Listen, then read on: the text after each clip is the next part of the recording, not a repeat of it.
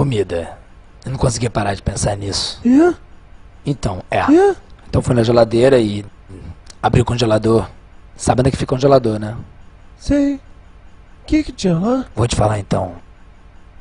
Sabe bacon, aquele temperado, tipo douradinho? O douradinho Esse aí. é. É? Eu peguei e pensei, Hã? eu sei quem ia adorar isso.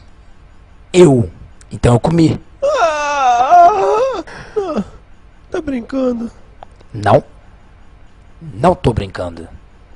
Eu também percebi que tinha um bife lá. Uma carne suculenta. E aí eu comi também. Então voltei pra geladeira. Alguns minutos atrás. E fiz um negócio muito especial. Você vai adorar essa. Eu peguei um frango e botei. Botei queijo em cima. E cobri com. Cobriu com o quê? Cobri com comida de gato. Aham. E aí adivinha? O quê? Eu dei pro gato. Ah!